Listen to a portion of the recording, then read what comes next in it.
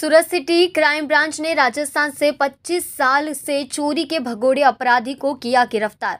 उन्नीस सौ सत्तानवे में बेल्जियम स्क्वायर में एक दुकान में सिंधमारी का आरोपी 25 साल से फरार आरोपी को पुलिस ने गिरफ़्तार कर लिया है। उन्नीस सौ सत्तानवे में चोरी कर फरार हुए आरोपी को राजस्थान के पाली ज़िले के मारवाड़ जंक्शन से उठाया गया था। अपराधी मुन्नालाल उर्फ़ भालाराम उर्फ़ भंवरलाल मेघवाल को राजस्थान के पाली ज़िले के मारवाड़ जंक्शन से गिरफ़्तार कर कर लिया गया है।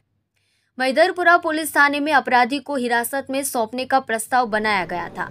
एक इलेक्ट्रॉनिक्स की दुकान में घरफोड़ी के अपराध में प्रतिवादी ने उन्नीस सौ सत्तानवे में बेल्जियम स्क्वायर में आकृति इलेक्ट्रिक नामक एक दुकान में रात में एक डुप्लीकेट चाबी के साथ एक टीवी और केबल लेटर को अनब्लॉक किया।